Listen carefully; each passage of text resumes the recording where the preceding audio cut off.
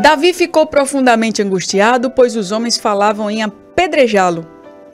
Todos estavam amargurados por causa dos seus filhos e de suas filhas. Davi, porém, se reanimou ou se fortaleceu no Senhor, o seu Deus. Se você quiser marcar, está em 1 Samuel, primeiro livro, capítulo 30. Eu li apenas o versículo 6. Mas nós vamos meditar nessa história para você saber o que aconteceu, para você saber contar. Saber contar, lembrar de alguns fatos e trazer para a sua vida, porque você precisa dessa palavra viva na sua caminhada, tá bom? Que essa palavra possa chegar no teu coração e que Jesus possa fazer aquilo que ele deseja na sua vida através dessa palavra. Essa palavra ela ela ressuscita mortos. Essa palavra ela faz a esperança renascer. Você está desanimado? Deixa o Espírito Santo te animar nessa manhã. Eu quero pedir a você só mais uma coisa, que você faça um compartilhamento. Eu não pedi no início da mensagem, mas deixa eu pedir agora. Porque eu sei que mais pessoas precisam ouvir. Eu não vou pedir muitas vezes, eu vou pedir agora, tá? Compartilha e volta aqui porque eu vou continuar com essa palavra. Faz esse compartilhamento aí no Facebook, no Instagram, joga aí, pessoal do Instagram, irmã Nina, Jéssica, Jefferson, compartilha aí para 10 pessoas que mais vidas possam ser alcançadas, tá? Cris Marinho vai compartilhando. Quem tá no YouTube também, faz aí o teu compartilhamento também. Vamos lá.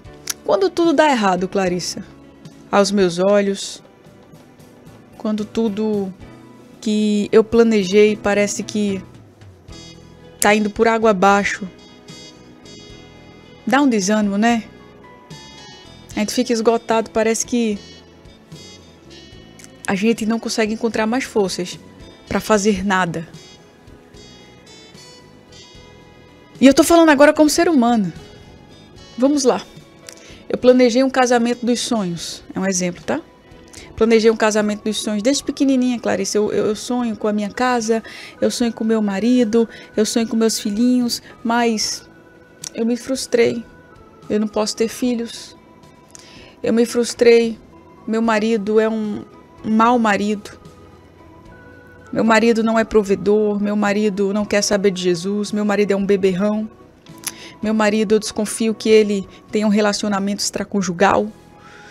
Eu, eu, eu sonhei também que eu iria conquistar é, uma boa casa, que eu iria ter um excelente emprego, porque eu sempre fui muito dedicada na escola, mas hoje eu não me vejo assim, hoje eu me vejo muito distante do que eu sonhei. Me parece que tudo na minha vida deu errado e me parece que vai continuar dando errado.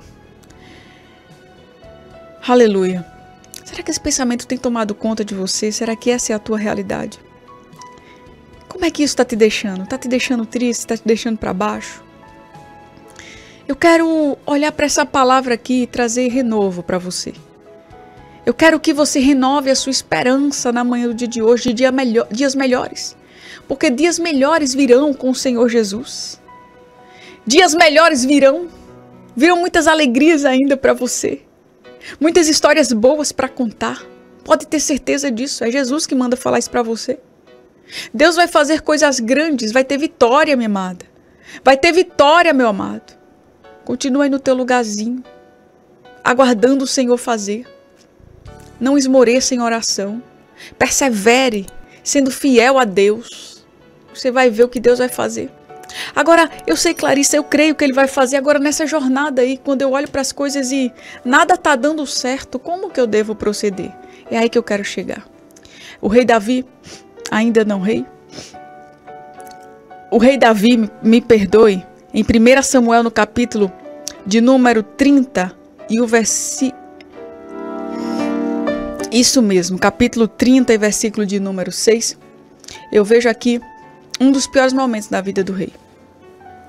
Ele volta do campo de batalha com os seus valentes, seus guerreiros. E ele chega e ele vê queimada a cidade que ele estava morando com os seus valentes. Ou seja, Davi morava numa cidade, ele estava numa cidade chamada Ziklag. Era a sua casa. Ziklag era a sua moradia, era o seu lugar de conforto. Dali, ele parte e volta do campo de batalha. E quando ele olha para aquela cidade, pensando em descansar, pensando em estar em casa, voltar para o conforto da, do seu lar, é, comer aquela comida, não é, da sua esposa, os seus valentes procurando os seus filhos. Todos aqueles homens olham agora para a cidade, nada disso eles veem. Eles veem uma cidade pegando fogo. Eles procuram as crianças, eles procuram as esposas e eles não encontram. A Bíblia me, me mostra aqui que aqueles homens que estavam com Davi, eles ficaram tão tristes que começaram a chorar juntamente com Davi em alta voz. Eles quiseram apedrejar Davi. Apedrejar Davi. Só que eu olho aqui para a Bíblia e eu vejo que Davi ele soube lidar com essa situação da maneira que eu preciso lidar com as situações difíceis da minha vida. Davi ele se reanimou no Senhor seu Deus. É o que a Bíblia me diz e eu gosto muito dessa palavra. Essa palavra me inspira nos momentos de luta. Essa palavra, ela me faz revigorar a alma nos momentos difíceis. Deus ele quer que nós voltemos para dentro de nós mesmos em momentos assim e saibamos encontrar ânimo lá dentro, em Deus, aonde o Espírito Santo está. Você pode estar num momento muito angustiante. Você pode estar magoado com as pessoas que estão ao teu redor. Você pode estar entristecido por algo que aconteceu ou algo que está por vir. Mas a palavra de Deus está me dizendo aqui: olha, tem alguns segredos para você enfrentar e não é dessa maneira que você está enfrentando. Você precisa aprender a se animar ou animar a si mesmo. Porque uma pessoa desanimada é uma pessoa que sente a derrota e transmite a derrota para as pessoas ao seu redor. É uma pessoa que transparece inutilidade. Aleluia. Amado, amada, deixa eu falar uma coisa para você. Tenha bom ânimo nesta luta. Tenha bom ânimo neste campo de batalha. Continue lutando, insistindo, porque o Deus que te trouxe até aí, ele é capaz de fazer infinitamente mais do que tudo que você pensa, que você imagina, do que você espera. O Deus que te colocou aí no meio desta batalha é o Deus que é com apenas uma palavra, ele te tira aí do meio desta batalha e te coloca no pódio, em lugar de vencedor, em lugar de vitorioso. Aleluia! Louvado seja o nome do Senhor Jesus. Tem vitória para você. E você precisa continuar lutando, sabendo que a vitória virá no final. Você não pode continuar lutando duvidoso. Ah, Senhor, eu vou morrer. Ah, Senhor, eu vou parar. Eu vou desistir. Eu quero te encorajar nesta manhã, em nome de Jesus, a você dar a volta por cima, a você parar de dar vazão aos seus sentimentos e pensamentos negativos, a você parar de ficar abrindo seu coração para esses pensamentos malignos. Em nome de Jesus, bloqueia. Bloqueia esses pensamentos maus. Diga, Senhor Jesus, eu não aceito. Senhor Jesus, eu não quero isso para mim. Senhor Jesus, não foi para isso que o Senhor me criou, me formou e me colocou aqui. Eu não quero desanimar, eu não quero esmorecer. Aleluia, aleluia. Mas não é nos momentos de festa que você é capaz de fazer tudo isso. É nos momentos de luta, eu vejo uma situação desoladora. Davi, quando volta para casa, eu imagino que ele poderia ter concluído que Deus havia abandonado ele. Ziclag, sua cidade, lugar de conforto, estava destruída, estava queimada. Suas esposas, seus filhos, daqueles homens estavam agora sequestrados. Imagine você chegando na sua casa, procura sua filhinha, seu filhinho, procura seu esposo, procura sua esposa, e você não encontra, você encontra sua, sua casa carbonizada. Você não faz ideia de onde estão seus filhos e filhas. Tudo levaria você a crer que Deus o havia abandonado. Nós somos humanos. E a Bíblia me conta, me relata aqui que eles choraram até não terem lágrimas para chorar, está no versículo 4 do capítulo 30 de 1 Samuel. Como é que, como é que Davi ele poderia aqui se motivar? Como é que ele poderia vencer esse desânimo?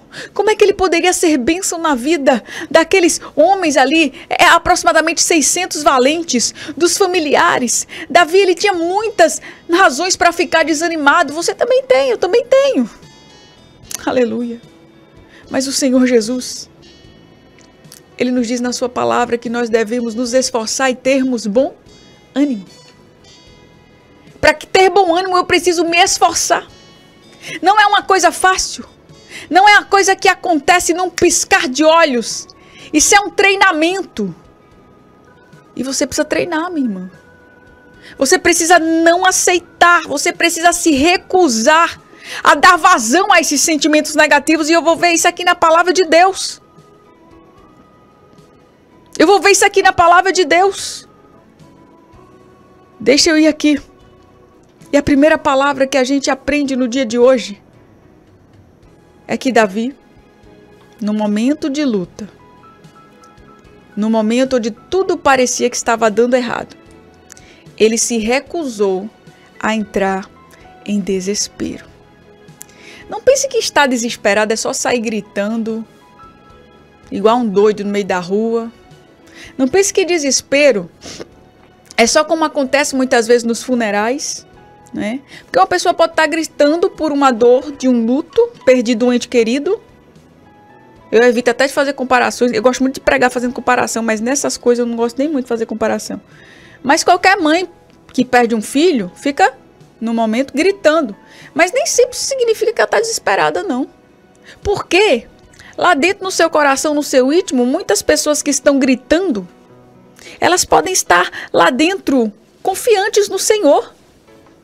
Então entenda, eu tô só querendo mostrar para você que nem sempre quem tá desesperado tá gritando. Tem gente que tá calado, mas tá desesperado. Porque desespero é falta de esperança. Talvez você esteja desesperado mesmo calado.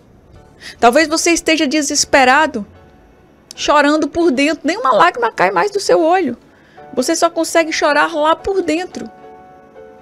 Tá desesperado por conta da atua atual situação do nosso Brasil. Talvez você está desesperado por conta da falta de emprego. É difícil, Clarice. Eu não estou dizendo que é fácil, não. Você pode estar tá chorando aí por dentro, sem dar um grito, mas está desesperado, perdeu a esperança de que algo melhor vai acontecer. Perdeu a esperança de que Deus vai fazer. Perdeu a esperança de que o Senhor Jesus está agindo naquela área específica da tua vida. Sabe o que Davi fez aqui? Ele chorou muito. A Bíblia me diz que ele e os seus soldados choraram em alta voz até não terem mais forças. Está lá no capítulo 4 de 1 Samuel. Jesus está dizendo aqui, ô oh, meu filho, olha, você pode até chorar. Davi chorou bem muito, até não ter força. Sabe o que é isso? Você ficar esgotado, tanto chorar, que chega uma hora que você nem aguenta mais. Porque a luta é grande, porque dói, porque machuca. Mas aí Davi fez, epa, o que é que chorar resolve? A gente não fala isso para os meninos da gente às vezes? Né? Eu gosto muito de falar isso. Quando eu vejo minhas filhas chorando, principalmente a mais velha, que não tem mais idade para chorar, Clarinha, que tem 11 anos, já tá quase do meu tamanho, já tá calçando sapato maior do que o meu. Quando ela começa a chorar, sabe o que eu digo? E aí, filha, tá resolvendo, né? Porque você tá chorando. Eu fico ironizando. Não sei se a psicologia vai me apoiar aqui. Mas funciona, né? Eu digo, ó, oh, tu vai ficar aí nessa cadeira chorando, é melhor tu se levantar e tomar uma atitude. Porque se tu ficar nessa cadeira aí chorando, tu não vai resolver absolutamente nada. Aí às vezes ela fica lá, eu fiz, e aí, tá resolvendo, né, filha? Tá resolvendo tudo aí você chorando. Pronto. É bem pedagógico isso, ao meu ver. Da mesma forma, eu digo para você nessa manhã. De que vai adiantar, você vai ficar aí parado chorando a vida inteira? Davi, ele despertou, ele disse, epá, eu já chorei muito. Eu já chorei em alta voz até não ter mais força com os meus soldados. 1 Samuel capítulo 30, versículo 4. Eu já chorei, porque a gente precisa chorar, tem hora. Tem hora que a gente não aguenta a pressão e a gente chora. E não é pecado chorar, não. Eu só quero dizer a você que chorar não resolve. Se você quiser chorar, vai chorar nos pés do Senhor em oração. Porque ali você é renovado e você parte para a guerra. Quando a gente chora nos pés do Senhor, a gente se enche de poder, de um sonho, de ousadia. Agora ficar chorando, se lamentando pelas coisas da vida. Ficar lá, prostrado, parado. Deixando ali as lágrimas rolarem no rosto, ah, se colocando para baixo, se sentindo inferior, se sentindo incapaz, falando palavras negativas. Tudo bem, você já fez isso por um tempo, ok, você não vai morrer por causa disso não. Agora você precisa se recusar a entrar em desespero. Você precisa dizer, epa, chorei já muito. Eu já chorei muito, agora eu preciso bloquear isso aqui, porque senão os meus sentimentos vão me dominar. E aí você vai se afogar na depressão, na ansiedade. Você precisa dar um sacode em você mesmo. Você precisa cair em si, sabe? Dizer assim, não.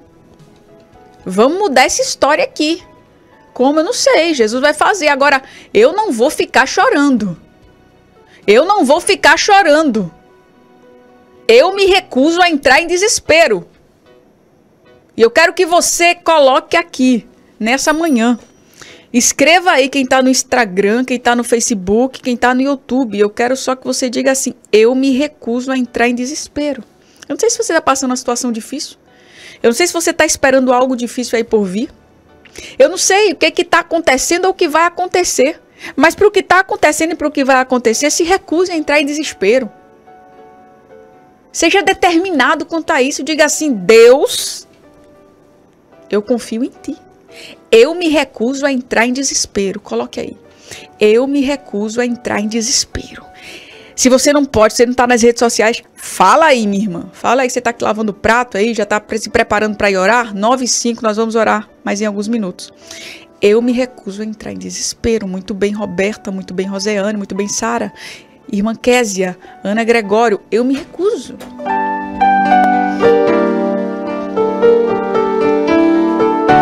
Vai escrevendo aí.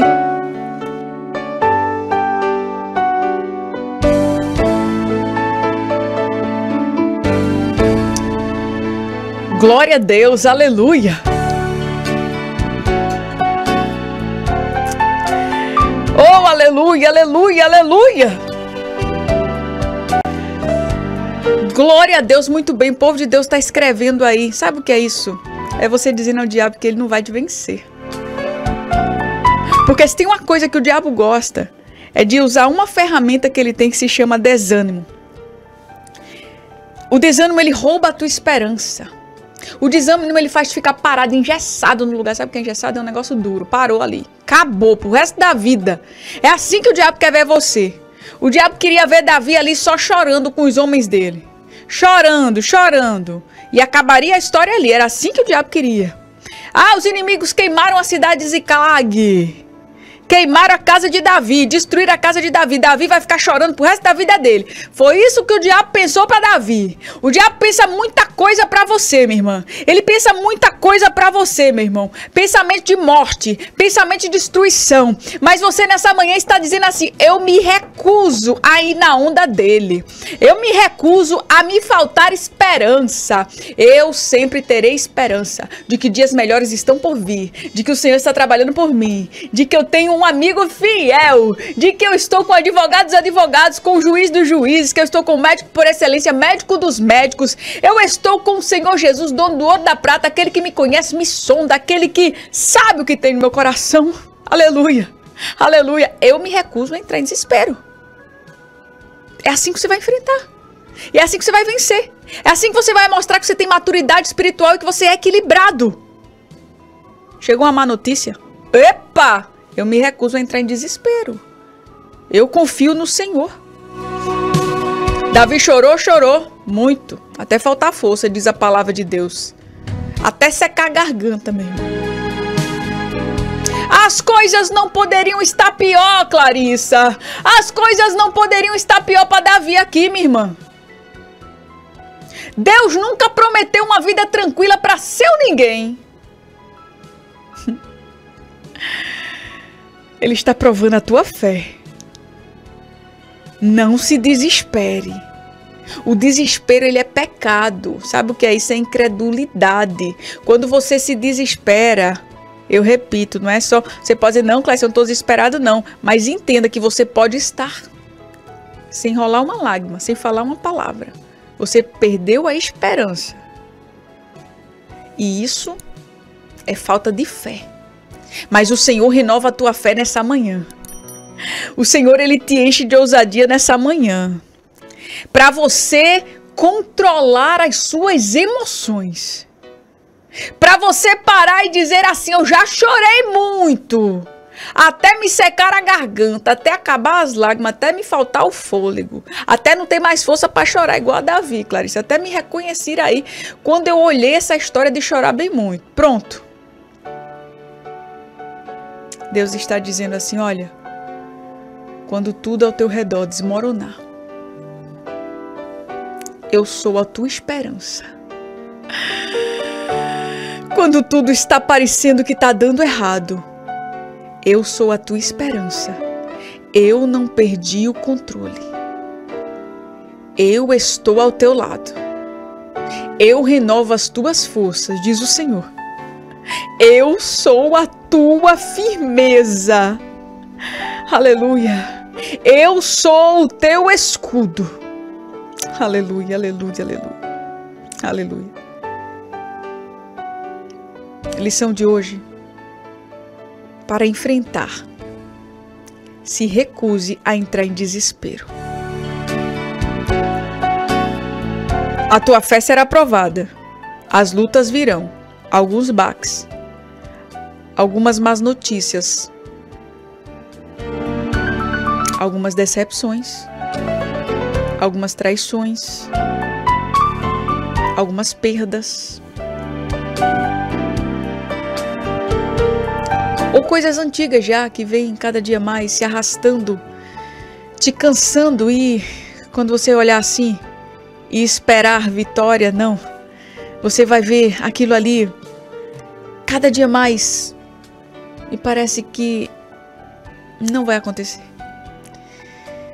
É aí, amado. É aí que você vai provar a tua fé. É aí que você vai dizer: "Epa, eu me recuso a entrar em desespero. E você vai ver o que Deus vai fazer.